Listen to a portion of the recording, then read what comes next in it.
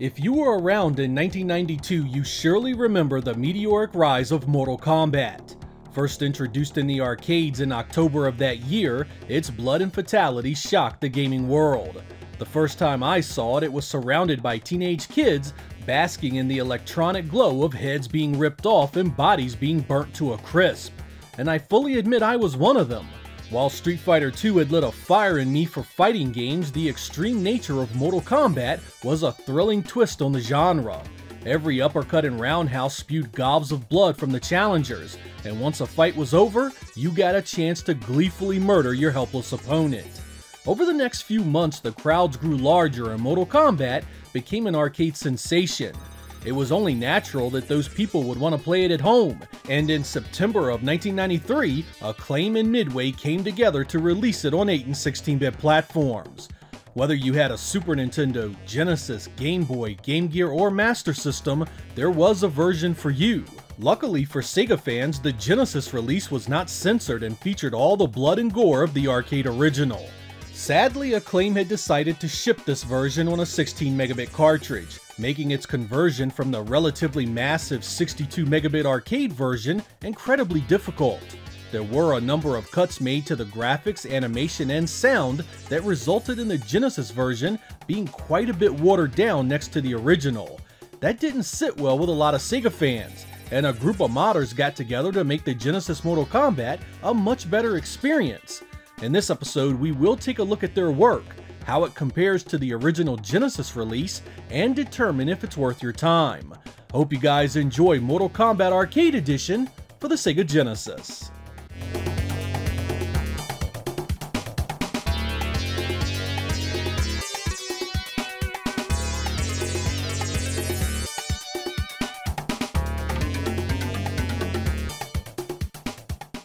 As I said earlier, the original Genesis cartridge was a decent size at 16 megabits, but the arcade ROM was nearly four times larger.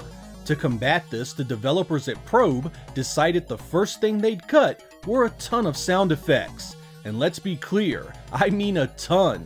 Nearly all the voices from the arcade are gone, and what is there sounds completely different.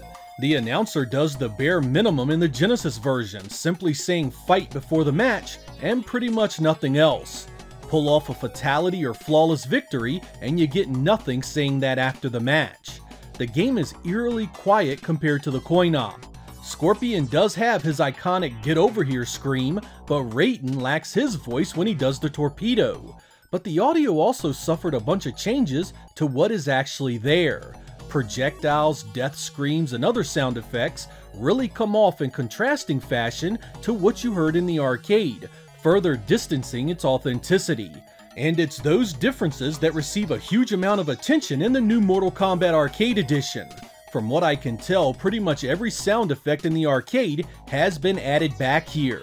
The original announcer is back and he does an excellent job on everything from announcing your pick to letting you know you scored that fatality.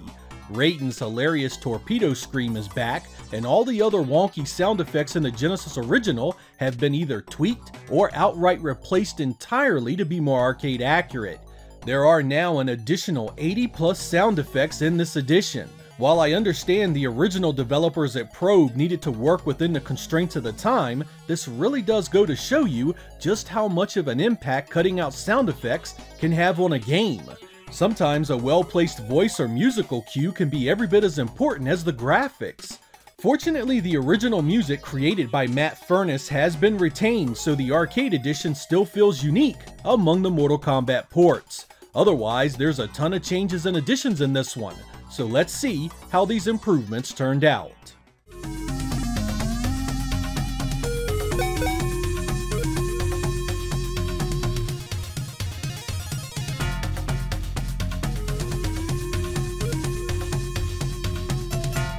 Scorpion.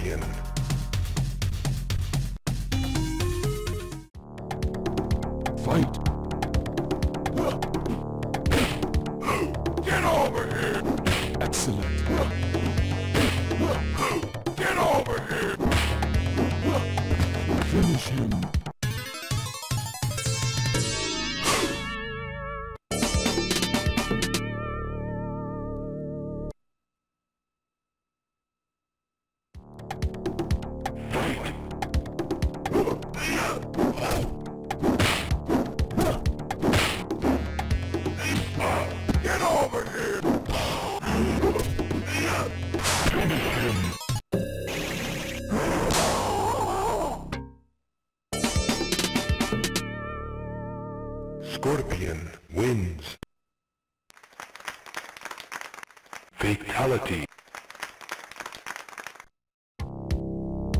Fight.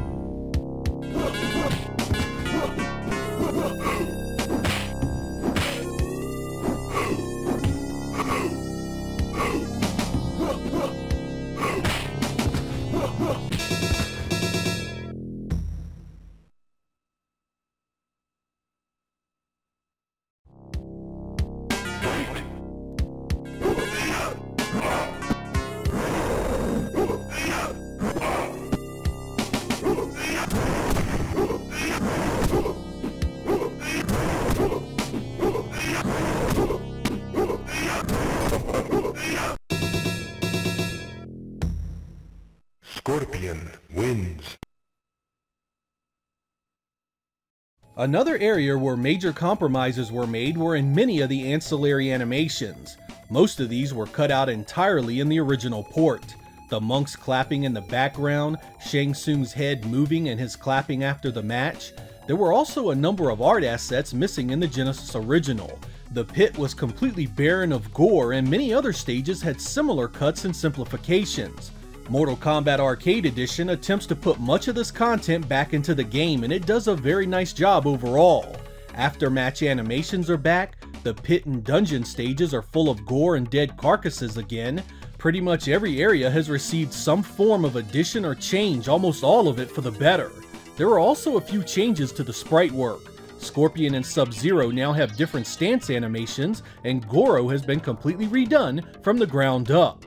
Many of the fighters have tweaks and changes to their portraits, animations, and colors as well. These changes really add up when you consider them all and do indeed bring the Genesis version more in line with what we saw in the arcade. There is of course some remaining dithering thanks to the lower color palette of the Genesis, but overall the changes in the arcade edition are very welcome and make this version far more appealing.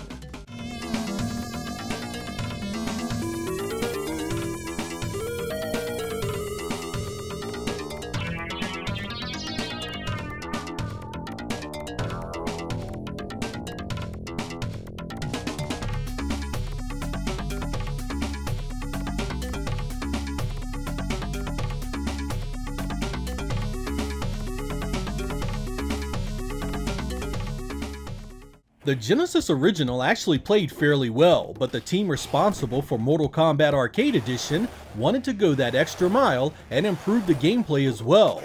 They made tweaks to the timing to bring it a more accurate arcade feel.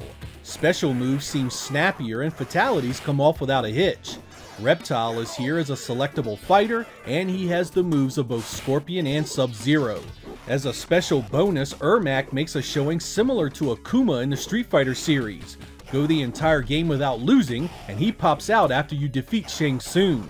Be aware this dude has some skills and will likely rip your head off a few times before you best him.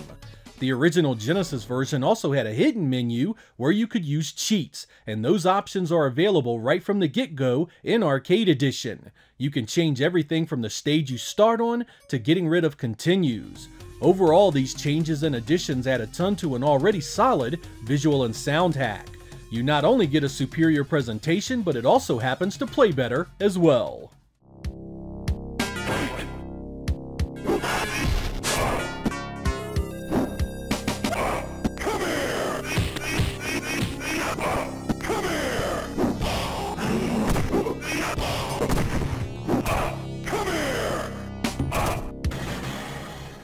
As with just about any other work like this, you need to find the proper ROM version to do the hack.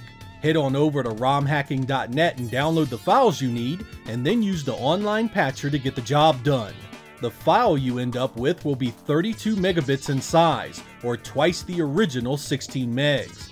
Despite its problems, I had always considered the Sega CD version of Mortal Kombat my favorite of the 16-bit releases. I can now honestly say that this is the one that takes the crown. Aside from the changes I presented here, there are a load of additional modifications I didn't spotlight. There is a new SRAM feature that saves your winning streaks, a new quick reset, changes to the startup and ending sequences, and a training mode. I mean, this really goes beyond your normal hack job and really adds some meaningful material that really shows off that the Genesis could have done a port a hell of a lot closer to the arcade original.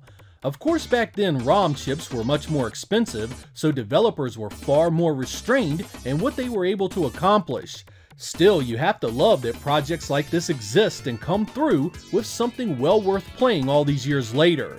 While many may ask why bother when you can just play the arcade version in MAME, it's always nice to see console ports get improvements that can be enjoyed on original hardware. I really do hope to see more stuff like this in the future. If any of you talented folks out there are taking requests, I'd love to see someone take the Genesis port of The Punisher and add back in all the stuff cut out of the retail release. That game deserved so much better, and I just know the Genesis could have done a lot more with it. As for Mortal Kombat Arcade Edition here, I really am impressed with what this group accomplished and fully recommend you give it a try. The people involved in this project have my thanks and appreciation for a job well done. It would seem the Genesis still does, and I'm confident you'll feel the same. I'm Lord X, thank you guys for watching, and I will catch you next time.